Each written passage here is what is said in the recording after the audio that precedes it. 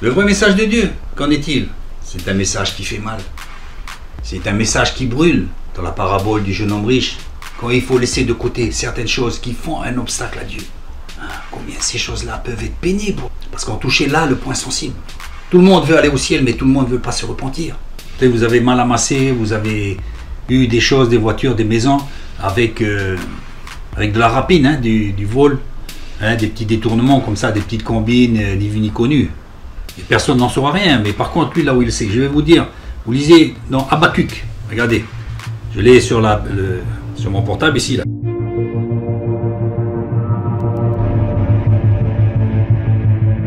Vous voyez?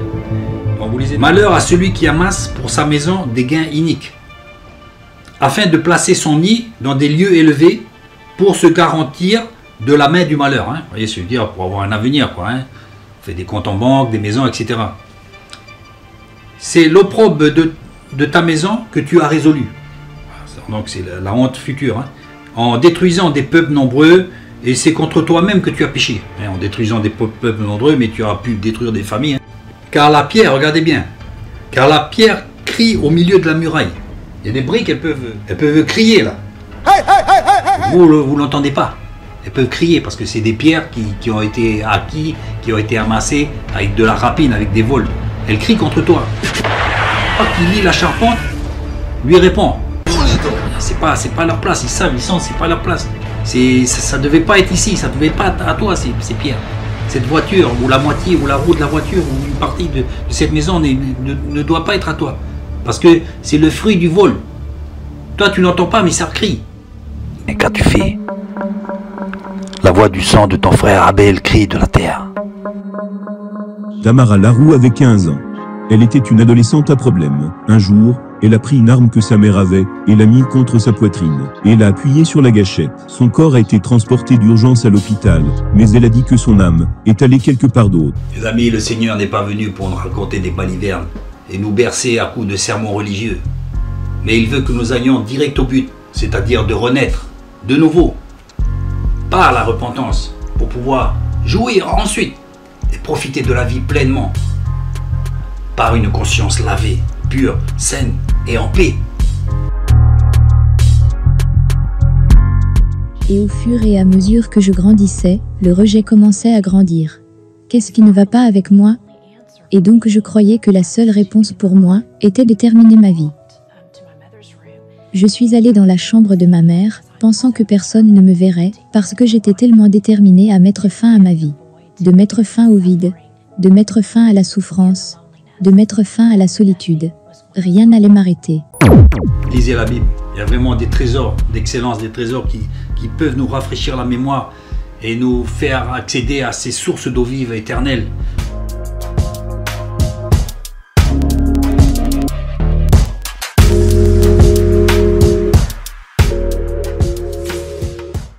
L'histoire que j'ai vécue personnellement d'une personne qui se disait frère et aussi syndicaliste, il ne jurait que par la religion et le syndicalisme.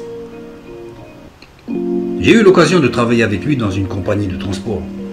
À un moment donné, il y avait des problèmes de tickets, la machine ne fonctionnait pas trop, donc c'était à l'appréciation du chauffeur. Vous voyez ce que je veux dire? De sorte qu'on se retrouvait à la fin de la journée, et beaucoup le faisaient, avec une somme d'argent sans ticket et sans justificatif. On était couvert. Avec qui on partageait de l'évangile me disait explicitement Mais non, la machine ne marche pas, cet argent c'est pour toi. Il s'en vint à me tenir ce genre de discours. J'étais assez étonné d'avoir un tel langage.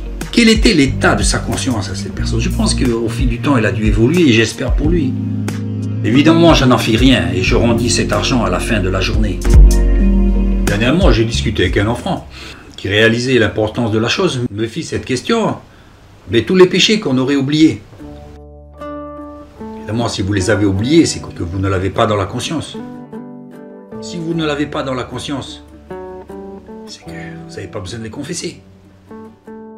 En fait, cet enfant était tourmenté pour les péchés qu'elle aurait commis sans s'en souvenir. Dieu ne tient pas compte des temps d'ignorance. Toutefois, si ça peut vous faire plaisir, si vous voulez être en paix avec votre conscience, faites donc cette prière à Dieu. Seigneur, pardonne-moi pour tous les péchés dont je ne me serais pas souvenu. Dieu est bon, Dieu est amour. Pourquoi de garder de tels péchés, de telles fautes, de telles tâches en nous Alors que Dieu est prêt à nous pardonner? Ça nous coûterait quoi? Ça va pas nous arracher un bras ni la langue.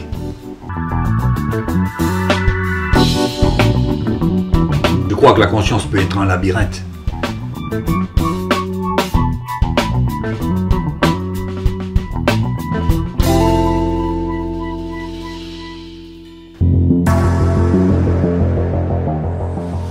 Un jour, un frère est venu nous voir avec sa femme pour nous rendre une bassine. Une bassine pour laver les bébés. Franchement, à cette époque-là, je ne pense même pas m'avoir souvenu qu'on lui avait prêté une bassine. Une bassine à bébé. Qu'est-ce qu'on va aller réclamer une bassine à bébé On voyait vraiment qu'il tenait vraiment à rendre ce qui n'était pas à lui. Pointilleux dans la conscience, scrupuleux. C'est une bonne chose. Si ta conscience te fait rappeler que tu devais un euro ou 100 balles à ton frère ou à quelqu'un à qui tu l'as emprunté, alors franchement, va lui rendre. Au risque de te rendre ridicule, ce n'est qu'un euro, va lui rendre. On dit souvent que le diable se cache dans les détails. Ce n'est qu'un euro, va lui rendre. Elle a écrit le livre intitulé Délivré. Tamara Larou est ici avec nous. Bonjour. Merci pasteur. Content de te voir. Merci. C'était Spécial 38, une arme de la police. Ta mère l'avait dans son tiroir. Quand j'ai appuyé sur la gâchette, Dieu pardonne-moi. Je savais que mon corps était en train de mourir. J'ai senti le sang couler dans mes poumons. La mort saisit mon corps. J'étais devenue aveugle. J'étais devenue sourde. Et comme mon âme quittait mon corps, j'ai commencé à voyager à une vitesse plus vite que celle de la lumière. Et j'ai commencé à descendre. Et à descendre. Et à descendre.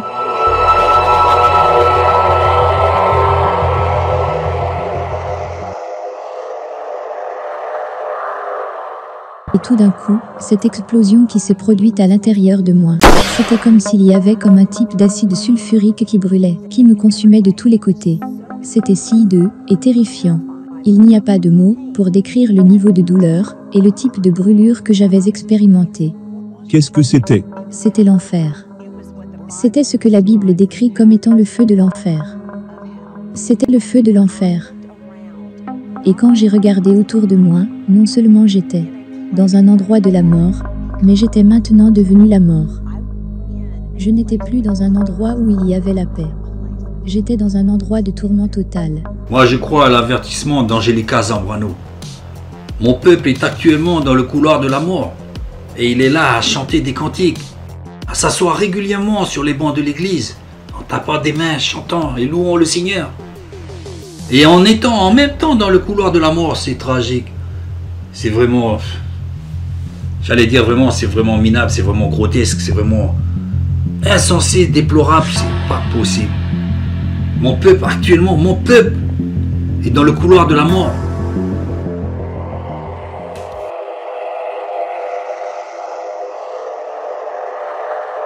Étais-tu terrifié? J'étais devenu la peur. Tu es devenu la peur. J'étais devenu un être de la peur. Vous savez, la Bible décrit la mort comme l'absence de Dieu. Et donc en l'absence de Dieu, en l'absence de quelque chose de bien, votre âme en fait se transforme en un être de la peur qui est l'opposé de l'amour. Donc mon être, ma personne s'est transformée en un être de la peur. Un être de douleur, un être en isolement total. Nous risquons pour certains de nous apercevoir que les dizaines et les dizaines d'années de présence à l'Église ne pourront pas nous sauver. Seigneur, nous avons fait des miracles. Dieu ne nous prend pas en traître. Il nous a déjà avertis. Si le salut que Dieu nous donne est gratuit, le prix à payer sera la fidélité sans faille. Il est difficile de décrire. Je suppose que vous pourriez dire que c'était comme un lac. C'était une immense mer de personnes, et il y avait beaucoup de mini-chambres qui étaient tout autour de moi. Et toutes les personnes qui y étaient étaient dans le même genre de personnes, sans forme, criant d'agonie, dans une totale terreur. Dans un cri hideux. Il n'y avait pas de fin à cela, Pat. Il n'y a pas de mots pour décrire à quel point c'était horrible. Il criait en agonie. Il criait à l'agonie. Des millions de personnes criant de tous leurs poumons. Que disait-il? Rien. et parce qu'ils étaient devenus des êtres totalement de la mort. Et c'est difficile pour l'esprit physique de comprendre ces choses. Il ne disait rien. Il criait, agonisait. Il n'y a pas de conversation. Tu n'es pas avec des gens.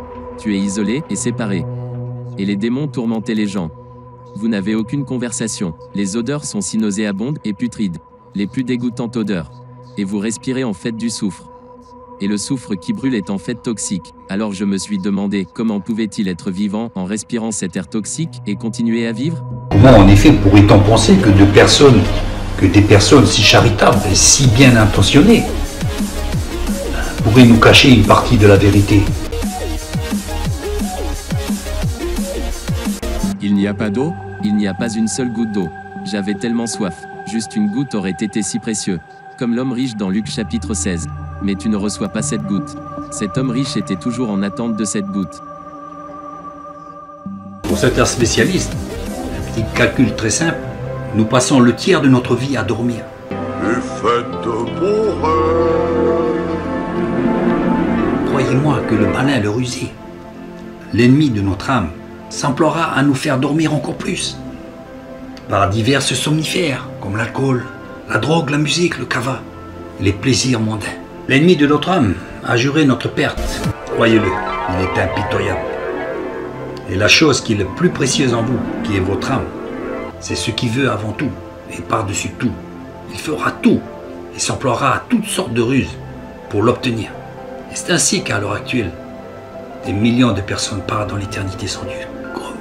Comme, nous disait Zambrano, comme du sable qu'on jette, une poignée de sable. C'est par milliers, par milliers que les personnes partent chaque jour dans l'éternité. Allez sagement vous coucher.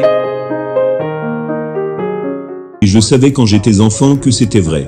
Et je voulais croire que c'était vrai. Alors j'ai appelé, Jésus s'il te plaît, sauve-moi. Et il est venu, il est venu. Premièrement, il y avait une toute petite tache de lumière, dans l'obscurité. Et très rapidement cela est devenu brillant. Et la lumière est devenue si brillante, que si elle avait été dans ce monde, elle m'aurait consumé. Et je me serais simplement fait griller. Mais ça ne l'était pas. Tout chaud et dangereuse qu'elle était, la lumière vint sur moi. Et il descendit. Il était dans cette lumière.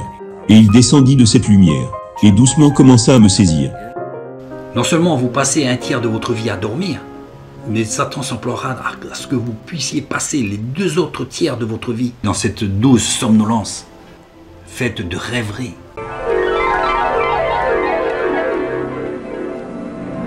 Vous connaissez la chanson, hein? Je suis jeune, j'ai pas le temps, Seigneur. Et quand on est jeune, on a mille occasions de, faire la fête, de découvrir la vie. C'est pas la vie qu'on vous dépeint dans les églises des fois. Mais moi, j'ai pas le temps, je suis jeune, ok. Il y a un peu l'âge adulte? Oh purée, mais j'ai pas le temps. J'ai connais ma copine, on a des enfants, on a des projets. On a un crédit, on a une maison et un bateau. Et demain, je pars en voyage avec ma petite famille. Non, vraiment, Seigneur, je veux te suivre, mais pas maintenant. Allez, attends, Seigneur. Ah là là. J'espère pour toi que. Puis vient la vieillesse, puis vraiment pas le temps, Seigneur. Déjà, j'ai pas pris le goût avant. J'espère pour toi que tu vas un peu t'occuper de ton âme. Si toutefois tu arrives à cet âge honorable respectable de la vieillesse des cheveux blancs, Plus important que toute autre chose, je pouvais sentir dans mon cœur qu'il y avait un moment dans ma vie, quand j'étais jeune et innocent, quand je croyais en quelque chose de bien, quand je croyais en quelque chose autre que moi, quand je croyais en quelqu'un qui était tout bon, tout puissant, qui se souciait vraiment vraiment de moi. Et je savais que je voulais que cela revienne. Ce que j'avais perdu, ce que j'avais jeté, ce que j'avais trahi, je voulais que cela revienne. Je ne connaissais pas Jésus, mais je voulais connaître Jésus. Je ne connaissais pas son amour, mais je voulais connaître son amour.